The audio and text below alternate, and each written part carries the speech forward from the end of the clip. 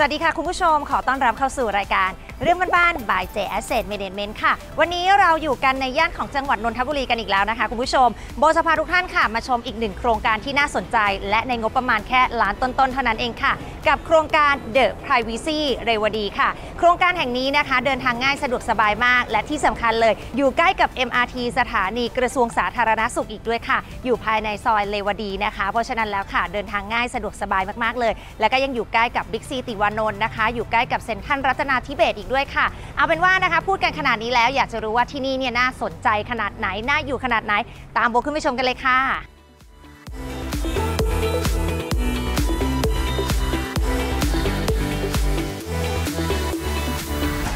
องนี้นะคะจะเป็นห้องชุดค่ะ จะมี 1 ห้องนั่งเล่น 1 ห้องนอน และ 1 ห้องน้ำด้วยกัน เดินเข้ามาในตัวห้องนี้นะคะ ห้องนี้เขาออกแบบมาค่อนข้างลงตัวเลย ขนาดพื้นที่ห้องจะอยู่ที่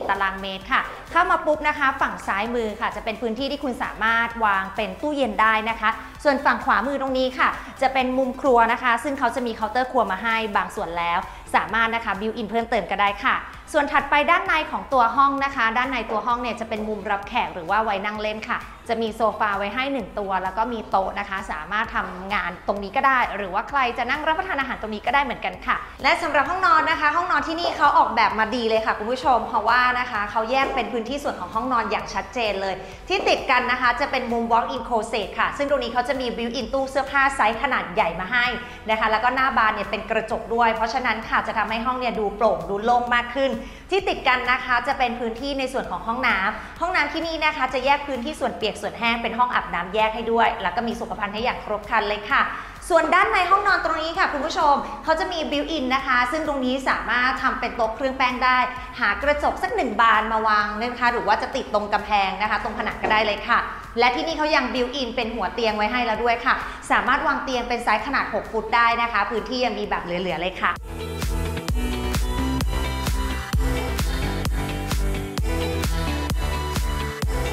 ในส่วนของการเดินทางไปยังโครงการคอนโดมิเนียม The Privacy เลวดี โดยเริ่มต้นจาก Big C Super Center ติวานนท์ขับตรงไปบนถนนนครอินประมาณ 1.3 กิโลเมตร แล้วเลี้ยวซ้ายเข้าสู่ถนนเลวดี ขับตรงต่อไปอีกประมาณ 800 เมตร แล้วเลี้ยวซ้าย ขับตรงต่อไปตามทางเรื่อยๆ โครงการจะอยู่ทางด้านซ้ายมือครับ